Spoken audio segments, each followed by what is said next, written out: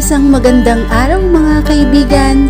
Narito na naman po si Shenshen TV na magbabahagi sa inyo ng isang kapanapanabik tungkol sa kwento ng pag-ibig. Pero kung bago ka pa lamang sa aking YouTube channel, pakilike lang po ng ating video, pakiclick na rin ang subscribe button at ganun rin ang bell icon para lagi kayong updated sa mga paparating ko pang mga uploads.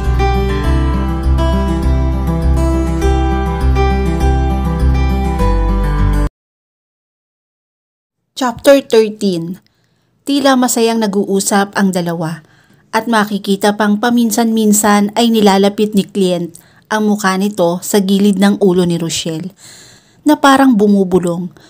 Ganon rin ang ginagawa ni Rochelle sa tuwing may sasabihin ito kay Client. Pagkatapos ay sabay natatawa ang dalawa. Kung nakamamatay lang ang tingin mo, kanina pa nakabulag tayang dalawang yan. Funa ni Alvin. Isayaw mo rin kasi mamaya. Kita mo na sa footage, di ba? Kung gaano kahilig sumayaw si Rochelle. Parang si Ana. Oops, ani ni Carl. At birong tinakpan ang sariling bibig. Speaking of Ana, di kaya magpakita yon? Andito si Franco eh, ani ni Matthew. Posible. Bugbugin mo ulit kaya si Franco para lumabas si Ana ang pang-asar na sabi ni Vince habang nakangisi. Speaking of the devil, unti-unting nagsalubong ang mga kilay ko nang makita kong papalapit si Franco sa kinaroroonan ni Client at Rochelle. Napatingin ito kay Rochelle. Napatitig saglit at maya-maya pa ay nakakalokong mumiti. May sinabi ito kay Client at magiliw naman na tumango si Client Pagkatapos ay marahan nitong ibinigay ang kamay ni Rochelle sa nakalahad na kamay ni Franco. I automatically bark a curse. What the fucking? At talagang isasayaw pa yan. Yang si Rochelle na yan? Patay. Pareho pa yata talaga kayo ng taste ni Franco. Pagdating sa babae pare, ang pangaasar ni Matthew.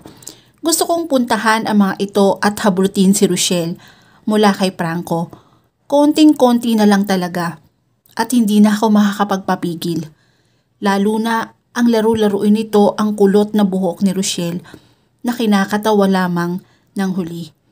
Imbis na mairita at sawayin ito ay hinayaan lamang niya si Franco. Nakita ko pa ang hawakan ni Franco ang kanyang salamin at tanggalin ito pagkatapos ay makikitang natatawa ito na bumubulong kay Rochelle Nakita ko pa ang mahinang paghampas ni Rochelle sa dibdib nito. Pero hindi ito galit. Bagkus makikitang masayang masaya ang dalawa habang nagbibiruan. Tatayo na sana ako nang pigilan ako ni Vince at Matthew. Relax pare. Hindi ka pwedeng gumawa ng eksena dito. Malalagot ka na naman sa airpot mo. Isa pa, may ilang taga-media pare. Baka ma-headline ka. Ikaw din isa pa, nakakahiya kay Ninang, ani ni Vince nang tinutukoy nito ay ang ninang nitong senadora na siyang namumuno ng event at may kaarawan. Agad naman itong sinang-ayunan ni Matthew. Wala akong nagawa kundi piliting pakalmahin ang aking sarili. Kahit papakiramdam ko ay sasabog na ako anytime. Lalo pang nahimagsik ang kalooban ko at nginatngat ng selos ang kalooban ko wala nang pakundangang hinawakan ni Rochelle ang necktie ni Franco at masuyong inayos iyon sa pagkakalagay. Pagkatapos ay marahan nitong isinandal ang kanyang pisngi sa dibdib ni Franco habang ang gago naman ay panayang halik nito sa tuktok ng ulo ni Rochelle. And there, I was really burnt out in anger. Doon ako nawalan ng pasensya. Agad akong lumapit sa kinaroroonan nila at pabigla kong hinila si Rochelle mula kay Franco. Nagulantang naman ang dalawa sa aking ginawa at kita ang gulat na gulat nilang itsura. Hinila ko si Rochelle pero bago pa man ako makatalikod ay nahawakan na rin ni Franco ang isang braso nito. Bahagya pa kaming nagilahang dalawa kay Rochelle. Bitiwan mo siya kung ayaw mo magkagulo tayong dalawa dito. Ang pagbabanta nito kay Franco. Lahat ba ng magugustuhan ko? Eh gustong gusto mong sulutin? Para kang asong laging nakaabang sa pagkain ko ah. Eh hindi naman kita alaga. Ang singhal ko sa kanya, nakita ko ang galit na reaksyon nito. Tila handa itong sumugod at makipagsuntukan ulit sa akin. Ngunit agad na pumagitna sa amin si Rochelle. That's enough, Ramil! I'll talk to you later, Rodel, okay? Ani ni Marie, nakita ko pa ang tila nag-aarok na tingin na binigay nito kay Franco. Halos kalad ka rin ko na siya paalis sa dance floor. Bahagya ko pang nilingon at pinukol na masamang tingin si Franco na nanatiling nakatayo lamang doon at nagtatagis ang mga bagang habang nakatingin lang sa amin. Nang makabalik kami sa mesa namin, ay pabiglang hinila ni Rochelle ang kanyang kamay at hinarap ako. Ano bang problema mo? Lahat na lang. Gigil nito sa akin. Ganyan ka ba talaga?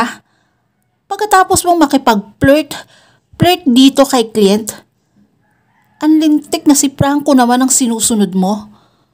May pasandig-sandig ka pa talaga ng pisngi sa dibdib niya. Napapapikit ka pa? Wow! Ano yun?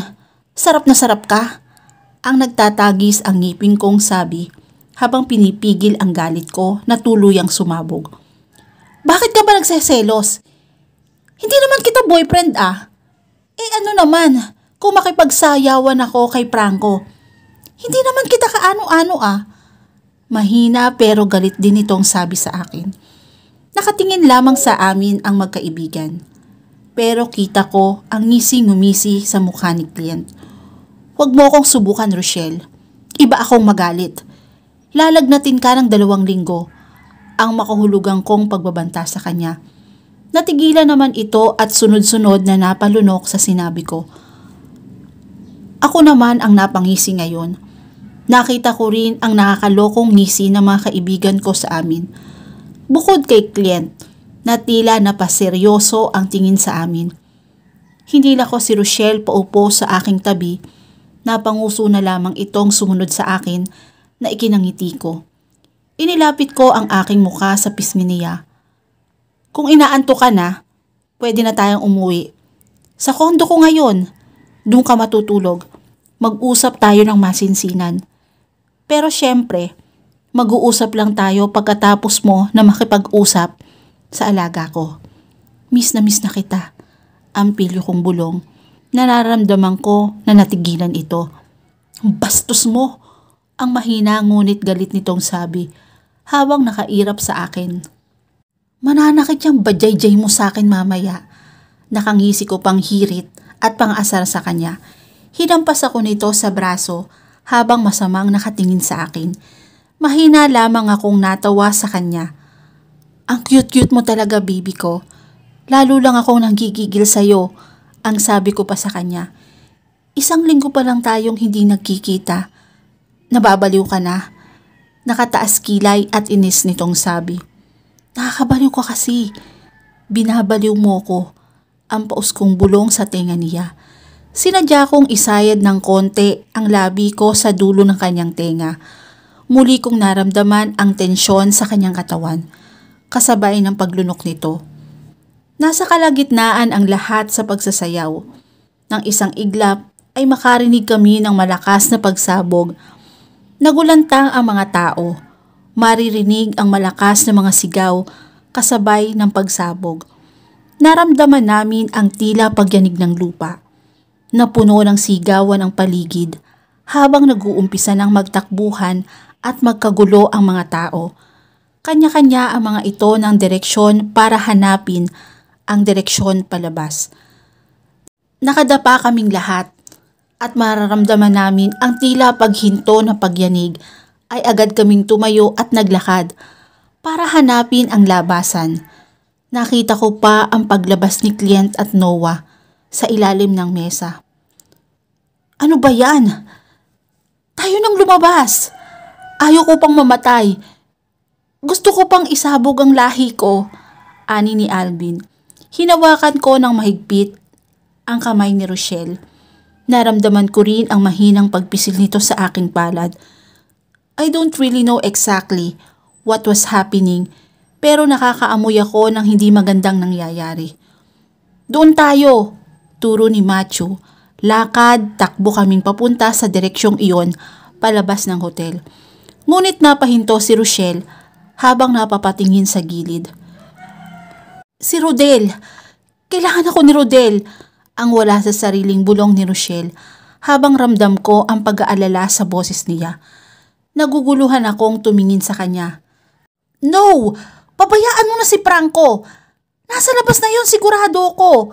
Ang sabi ko at hila-hila ko pa rin ito at mas lalong humigpit ang hawak ko sa kanyang kamay pero huminto ito sa paglalakad at malakas na hinila ang kamay nito mula sa akin. Nagulat ako sa kanyang ginawa. Nagkakagulo na ang mga tao. Medyo binalot na rin ng alikabok ang paligid. Marahil dahil sa nangyaring pagsabog. Nakita rin namin ang gumuhong parting iyon ng hotel. Mauna na kayo! Hahanapin ko lang si Rodel. Ang matatag na sabi nito. Galit ko itong hinarap. Ano ka ba, Rochelle? Hayaan mo na si Franco. Kailangan nating lumabas dito. Ang matigas kong sabi. At muling hinawakan ito sa kanyang kamay ng mahigpit. Ngunit bago pa kami makalabas ay naharang na kami ng mga armadong lalaki. Ang ilan ay nakasuot pa ng pang-waiter at naka-uniform ng tulad sa mga nagtatrabaho sa hotel. Napamura ko nang makitang akay-akay ang mga armadong grupo, ang ilang bisita at ang tatlong senador. Nakita ko pa ang panginginig at tahimik na pagluha ng babaeng senador. Ang isa naman sa kanila ay duguan ang bibig at ulo habang ang isa naman ay makikitang may galos din ito sa muka. Agad nila kaming tinutukan ng mga baril at inutusang lumakad at pinapasok nila kami sa isang silid. Walang nakahuma sa amin at naging sunod-sunuran na lang kami. Dahil lahat sila ay may hawak na mga matataas na kalibre ng baril. Napasunod na lang kami sa bawat iutos nila sa amin. Lalong humigpit ang hawak ko sa kamay ni Rochelle Ramdam ko ang paghigpit rin ng hawak nito sa aking kamay. Dinampian ko ito ng halik sa buhok. Huwag kang matakot. I'm here. I will not let anybody to hurt you. Bulong ko sa kanya. Para pagaanin ang kanyang loob sa takot nitong nararamdaman. Wala itong imik. Ngunit alam kong napuno na ito ng takot dahil sa nangyari. Kahit ako ay unti-unti nang inaatake ng takot Paano kung isa-isa nila kaming pagbabarilin? Sa tingin ko pa naman ay malalaking grupo ang mga ito. Hindi mangangaha sa mga ito na pasukin ang isa sa mga hotel kung hindi pinagplanuhan ng maigi. At kung kokonti lamang sila, nakakasiguro akong marami sila ng kasamahan sa loob. Nagawa pa talaga nilang magpasabog o magtanim ng bomba kung bomba man iyon. Nasa na mga tauhan ko? Bakit wala akong nakita kanina? Naputol ang saglit kong pag-iisip na magsalita si Rochelle. Sino ba ang natatakot? Hindi ako natatakot kahit kanino. Kailangan ko nang makaalis dito. Kailangan ako ni Rodel.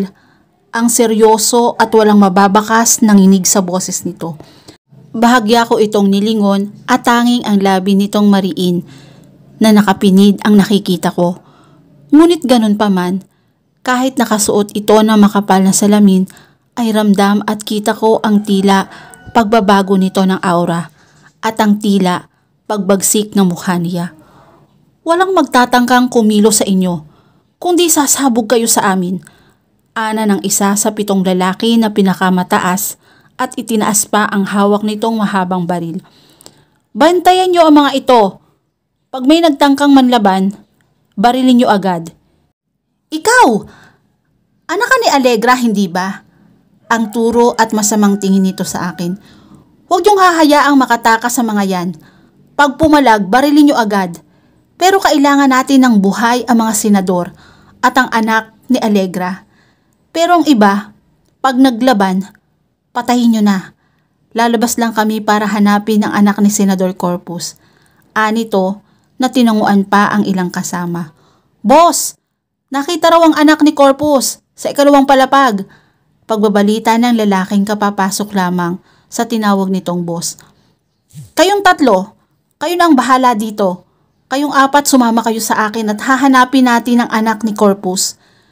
Malaki-laki ang atraso ng tatay na yon kay Bossing. Anito pa at napatawa ng mahina. Pag nadali natin yon, makakatanggap tayo ng bonus. Ana ng isa. Huwag kayong pakakasiguro ha. Alam niyong maraming galamay at magagaling na tauhan ang hayop na corpus na yon. May sa pusa yon, kaya talasan niyo ang mga pakiramdam niyo at paningin. Lahat ng mga kasalubong nyo sa labas, barilin ninyo. Huwag nyo na rin bigyan ng pagkakataong huminga ang corpus na yon. Barilin nyo agad pag nakita nyo. Matigas na sabi ng lalaki na sa tingin ko ay tumatayong leader. Gusto kong mahintatakutan sa mga narinig ko. Sa paraan pa lamang ng pananalita na mga ito ay halatang hindi na talaga bubuhayin si Franco. Naramdaman ko ang mas lalong pagigpit ng hawak ni Rochelle sa kamay ko. Positive sir! May isa pa dito! Ana ng kausap ni Joel sa kabilang linya. Pasimple nilang nilibot ang kabuuan ng hotel. Nakiramdam at sinuri ang bawat sulok na pinagdarausan ng event. Napansin na niya ang ilang kahinahinalang kilos ng mga ibang taong nagtatrabaho sa hotel. Binigyan na niya ng babala ang mga tauhan na maging alerto sa anumang mangyayari. Gusto sana niyang ideklara ang pagkakaroon ng bomba sa loob, ngunit naisip niyang hindi yon makabubuti kapag ka nagpanik at nagkagulo ang mga tao. Paano kung marami pala ang kalaban na nasa loob at pagbabaril na lang ang lahat ng mga taong nandudoon? At kapag ka nagkagulo ang mga ito, kailangang mailikas nila ang mga tao ng tahimik at walang nasasaktan or else mahanap lahat ang bomba para mapigilan ang pagsabog nito. At isa-isahing patumbahin ang kalaban. Kaya imbis na balaan ang mga tao, tumawag siya ng karagdagang backup. Nagpadagdag siya ng mga tauhan dahil nakakasiguro siyang marami ang mga nakapasok na kalaban sa hotel. Hindi maglalakas loob ang mga ito na pasukin at implantahan ng mga bomba ang naturang hotel kung wala silang kasabwat sa loob at hinala niyang tila planado talaga na mabuti ang mga ito, ang pagpasok at ang pagtatanim ng bomba. At sa tingin rin niya ay may malalaking tao ang nasa likod ng planong ito. Muli siyang nagsalita at bahagya pang inayos ang pagkakakabit ng wireless headphone na kinabit niya sa kanyang tenga. We should not stop or digging more hindi tayo nakakasiguro kung wala nang natitirang bomba sa loob. The way how they implanted it, balak nilang pulbusin ang hotel at ubusin ang mga tao sa loob. Karamihan sa mga dumalo sa event ay ang mga kilalang personalidad sa bansa. Kabilang ang dalawa pang senador na dumalo lamang at pangatlo na mismo ang senador na namumuno sa event. At marahil kung hindi lamang sa Asian Summit ay baka lahat ng senador sa partido nila ay nakadalo.